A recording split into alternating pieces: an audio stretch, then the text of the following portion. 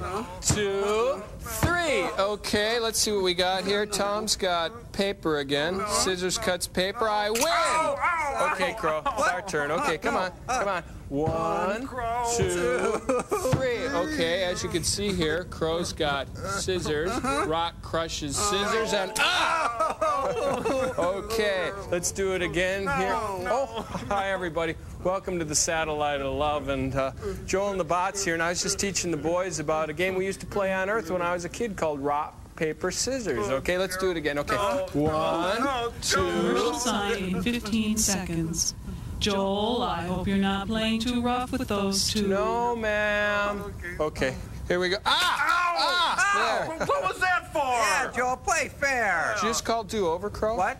Crow calls do over. I okay, didn't let's do over. The three of us this time. Okay, one, Way to go, Crow. My arm's getting numb. I didn't say Okay, let's see. Hmm. Oh, Looks like he's got paper again. I'm always Rock paper. cr- cuts paper. get- Ow! Oh! Okay, and uh, oh, this is kind of interesting because look at look at this crow. It's like you got scissors and I got scissors this time. Isn't that something? I guess that makes us even then, huh? Well, no, mine are really sharp scissors. Commercial sign in three, two, one. Commercial sign now. You guys want to play Mumbly Peg now?